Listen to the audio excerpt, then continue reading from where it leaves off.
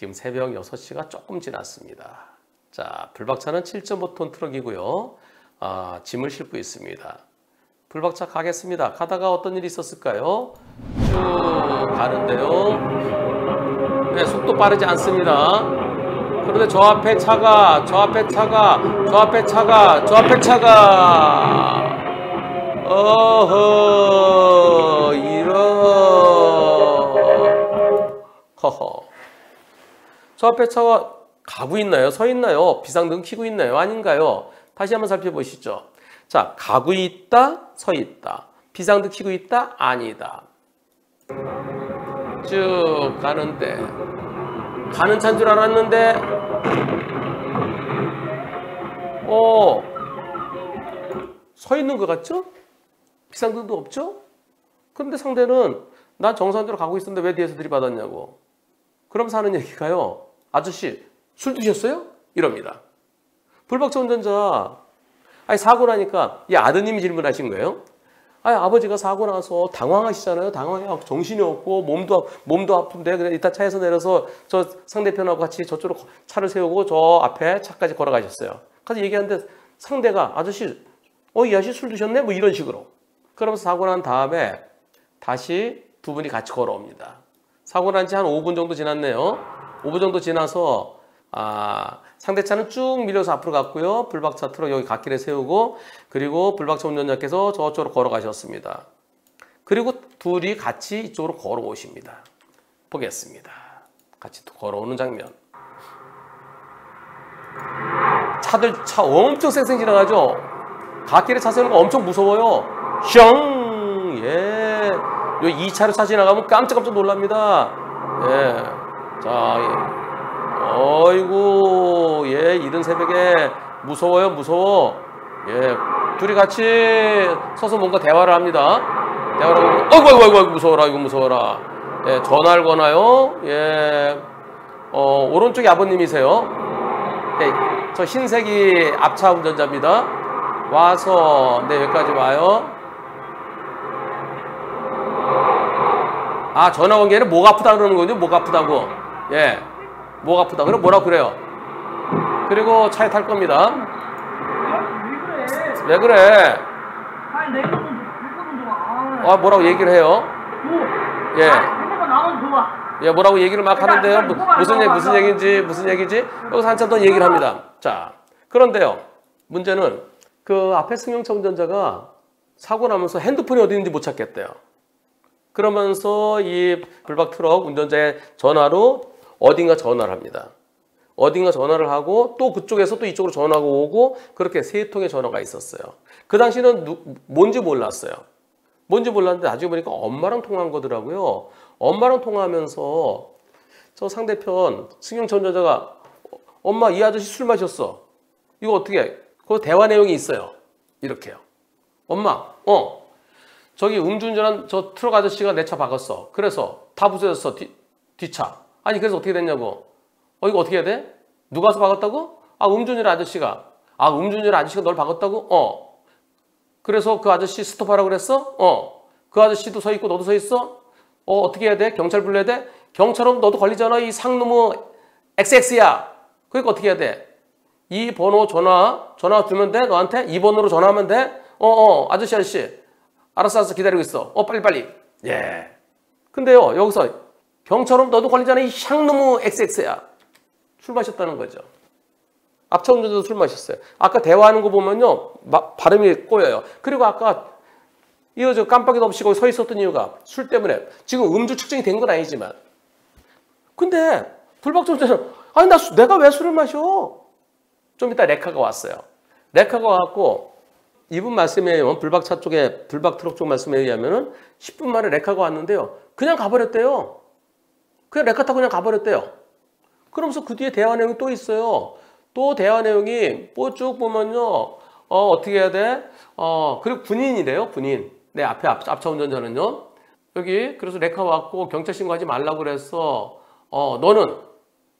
난, 나는 티도 안 나지. 그냥 일단 신고하지 말라고 그랬어. 여러분, 나는 티도 안 나지. 음, 술을, 나는 티도 안 나지. 어, 신고하지 말라고 그랬어. 뭐 이런 얘기가 있습니다. 일단 휴게소 뺄게. 어, 그래.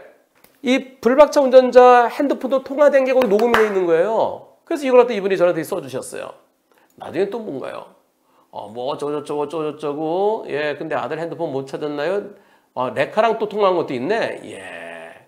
죄송해요 우리 아들 좀 바꿔줘. 네. 그러면서 그러니까 이쪽으로 전화 걸고 저쪽에 전화 오고 이제 그게 세 통이 기록돼 있습니다. 그런데요.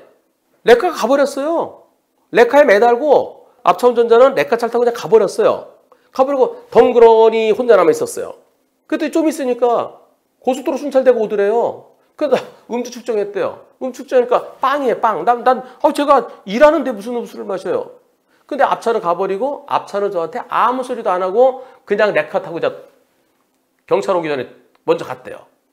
그리고 나중에 아, 레카가 와서 불박차를 끌고 갔는데요. 경찰이 휴게소 쪽으로 가버렸더니 벌써 레카는 휴게소에서 출발, 출발한 상태. 그래서 경찰이 상대편은 못 잡았어요. 못 찾았어요. 그래서 불박차 운전자는 알고 있는 것은 엄마랑 불, 저 앞에 차 운전자랑 통화한 내용으로 봐서 아, 술 마셨구나. 이 샹놈의 새끼야. 너도 걸리잖아. 예. 그 다음에 나는 티도 안 나지. 그리고 아이 쫄다고 그래서 이거 뭐 어쩌고저쩌고 하는 군인이라는 거. 아는 게 그것밖에 없어요. 여기서 일단 누가 더 잘못했습니까? 투표해 보겠습니다. 이거 고속도로였었고요. 불박차가 뒤에서 박았으니까 불박차 100% 잘못이다. 불박차가 더 잘못이다. 앞차가 더 잘못이다. 투표해 보겠습니다. 투표 시작. 예. 여러분들은 불박차 100% 잘못이라는 의견이 한 분 계십니다. 2%. 불박차가 더 잘못이라는 의견이 또 한 분 계십니다. 2%. 앞차가 더 잘못이라는 의견이 96%입니다. 지금이 어두운 시간이에요. 새벽 시간에요. 새벽 시간에 낮 시간에 낮 시간에 저렇게 서 있어도 앞차 40입니다. 비상등도 없었잖아요.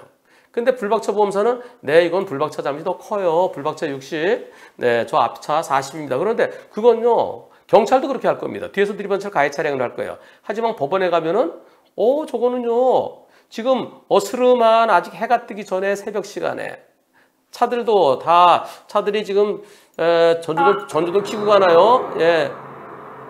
전조등 켰나요? 안 켰나요? 전조등 켜고 다니네요. 예. 이 시간에 이 시간에 적어도 5대5 내지는 앞차 잘못이 더 커야 되지 않겠습니까? 비상등 켜지 않고 이 차로에 딱 서 있었으면 지금 불박차 쪽의 의견만 말씀드렸어요. 다른 사정이 있는지 모르는데 불박차 쪽은 아 저렇게 얘기하다가 엄마랑 통화 몇번 하더니 그냥 레카가 오니까 그 차 타고 갔대요. 경찰에도 신고하지 말고 신고 절대 하지 마. 뭐 그러면서 레카 타고 먼저 갔다는 겁니다.